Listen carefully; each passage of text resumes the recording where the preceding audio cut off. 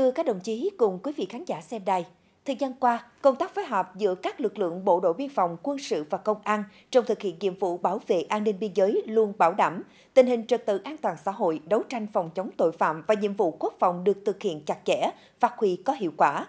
Từ sự phối hợp chặt chẽ của ba lực lượng đã góp phần quan trọng giữ vững an ninh chính trị, trật tự an toàn xã hội, phục vụ phát triển kinh tế xã hội tại địa phương. Cùng tìm hiểu về vấn đề này, mời các đồng chí và quý vị khán giả xem đài đến với phóng sự sau. Thực hiện theo Nghị định số 03 của Chính phủ về phối hợp giữa Bộ Công an và Bộ Quốc phòng trong thực hiện nhiệm vụ bảo vệ an ninh quốc gia, giữ gìn trật tự an toàn xã hội và nhiệm vụ quốc phòng. Đây là cơ sở pháp lý quan trọng để mối quan hệ phối hợp giữa hai lực lượng đi vào chiều sâu, phát huy hiệu quả trên cơ sở chức năng nhiệm vụ của từng lực lượng, góp phần bảo vệ vững chắc chủ quyền lãnh thổ, tạo môi trường hòa bình ổn định, phục vụ hiệu quả nhiệm vụ phát triển kinh tế xã hội đối ngoại. Trước yêu cầu nhiệm vụ bảo vệ Tổ quốc trong giai đoạn mới, các lực lượng bộ đội biên phòng, quân sự và công an đã chủ động nắm, phân tích, dự báo sớm tình hình thế giới, khu vực, trong nước và trên địa bàn tỉnh có khả năng tác động đến công tác đảm bảo quốc phòng an ninh. Từ đó kịp thời tham mưu cho cấp ủy chính quyền các chủ trương, giải pháp bảo đảm quốc phòng an ninh được giữ vững, giải quyết các vấn đề an ninh trật tự không để xảy ra tình huống bị động bất ngờ. Châu Thành là huyện biên giới nằm về phía tây của tỉnh Tây Ninh, có đường biên giới quốc gia dài 48 km. Trong đó, có 6 km đường biên giới là đường sông. Toàn huyện có 14 xã thị trấn, trong đó có 6 xã tiếp giáp với ba huyện, gồm Romihet, Rùm Đua, Svay Tiệp, thuộc tỉnh Svay Riêng, Dương quốc Campuchia. Đây cũng là huyện có nhiều đơn vị hành chính cấp xã nhất, cũng là địa phương có nhiều xã biên giới nhất so với các địa phương giáp biên khác trên địa bàn tỉnh. Xã biên giới là một xã vùng biên của huyện Châu Thành. Nơi đây có khoảng 80% dân số sản xuất nông nghiệp, 20% dân số sinh sống bằng nghề thương mại và dịch vụ. Trong thời gian qua, chính quyền địa phương đã chỉ đạo lực lượng quân sự xã, công an xã phối hợp với bộ đội biên phòng Giàm Trảng trầu chủ động triển khai quyết liệt các đợt cao điểm kế hoạch đấu tranh phòng chống tội phạm, đặc biệt là vào dịp lễ Tết theo đúng chức năng nhiệm vụ, nâng cao hiệu lực hiệu quả công tác quản lý nhà nước về an ninh trật tự trên địa bàn xã. Hiện nay đời sống kinh tế của bà con nhân dân ờ, cơ bản là ổn định, ờ, có phát triển, thực hiện theo cái Ờ, nghị định 03 về quy chế phối hợp giữa ba lực lượng công an, ờ, biên phòng và quân sự để tổ chức ờ, tuần tra bảo vệ đường biên cột mốc đảm bảo tình hình an ninh chính trị trên biên giới được luôn luôn ổn định. Từ đầu năm đến nay thì lực lượng thường xuyên tổ chức tuần tra phát hiện nhất là vấn đề chống buôn lậu trên biên giới thì đã phát hiện được hai vụ buôn lậu nhập pháo lậu từ Campuchia sang Việt Nam đã bắt được hai vụ và 18 kg và bắt giữ 6 đối tượng ờ, và hai trường hợp nhập cảnh trái phép ờ, là nó kết quả là đã thực hiện được ờ, trong cái đầu năm đầu năm đến nay. Hiện nay, trên địa bàn huyện Châu Thành có 3 đồn biên phòng đứng chân gồm đồn biên phòng Chàm Trắng Trâu, đồn biên phòng Phước Tân và đồn biên phòng Ninh Điền thường xuyên làm tốt công tác tham mưu và phối hợp với cấp ủy chính quyền, các ban ngành đoàn thể đẩy mạnh công tác quản lý nhà nước về biên giới quốc gia tại địa phương. Đồn biên phòng Chàm Trắng Trâu đứng chân trên địa bàn xã biên giới huyện Châu Thành, quản lý đoạn biên giới dài 23,448 km. Trong đó có 9,537 km biên giới trên sông và 13,911 km biên giới trên bộ. Đồn quản lý hai xã biên giới Phước Dinh, huyện Châu Thành, dân số 4.977 hộ trên 19.385 khẩu, gồm 12 ấp với 9 dân tộc sinh sống. Trong đó dân tộc Kinh là chủ yếu, còn lại là các dân tộc khác. Tình hình an ninh chính trị, trật tự an toàn xã hội trên địa bàn cơ bản ổn định. Ngoài biên tiếp giáp với xã Đôn, huyện Romihet, tỉnh Svay Riêng, Campuchia.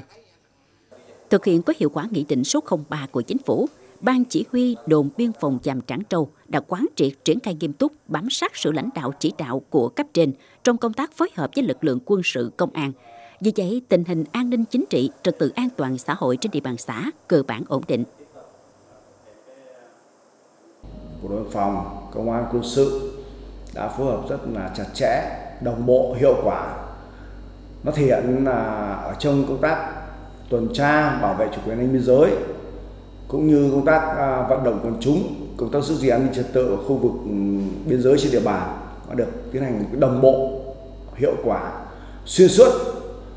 Có thường xuyên là các hoạt động trao đổi thông tin à, họp theo cái ờ, định kỳ cũng như đột xuất. Qua đó ấy, thì cái kết quả đặt ra là giữ gìn giữ vững trật tự an toàn xã hội trên địa bàn không để xảy ra cái tình huống như trộm à, cướp hay là các hoạt động khác. Rồi đấu tranh ngăn chặn trong việc mà các đối tượng mà buôn lậu à, hay gian lận thương mại rồi lợi dụng các đường mòn ngõ tắt để mà à, vi phạm cái việc xuất nhập cảnh cũng như là buôn buôn bán hàng hóa trái phép. Thì cái này chúng tôi đã phối hợp chặt chẽ nắm từ sớm từ xa à,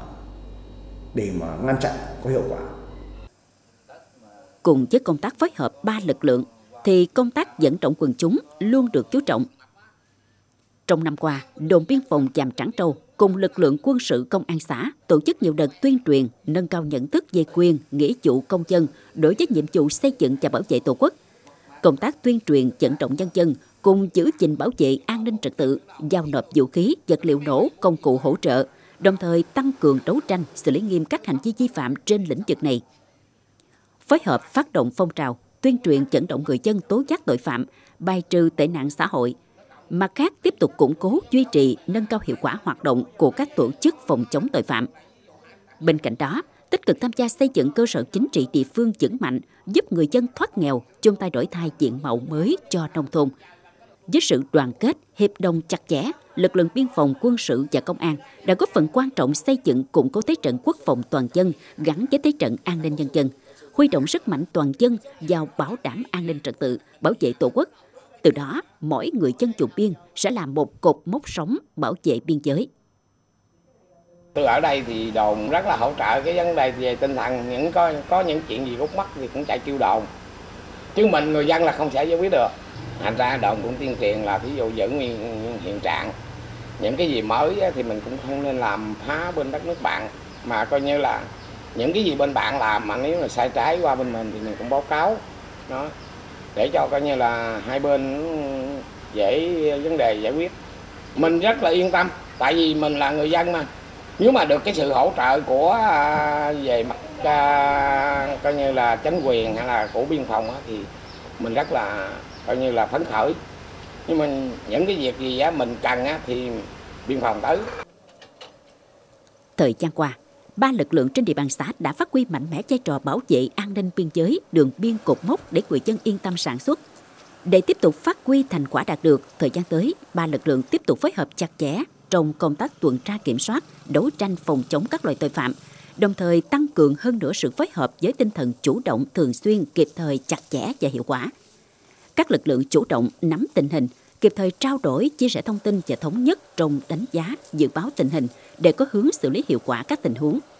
Tích cực tham mưu cấp ủy chính quyền và phối hợp triển khai quyết liệt các biện pháp phòng chống đấu tranh các loại tội phạm, nhất là trong dịp lễ Tết.